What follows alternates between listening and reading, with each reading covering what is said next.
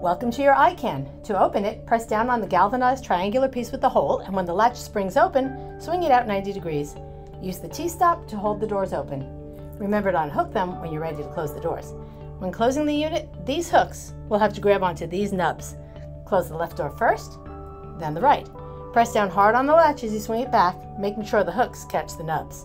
The weather stripping will create an extra tight seal. If that makes the door hard to close, use your foot to press against the bottom of the door. The doors are closed when they're flush to each other, creating a tight seal.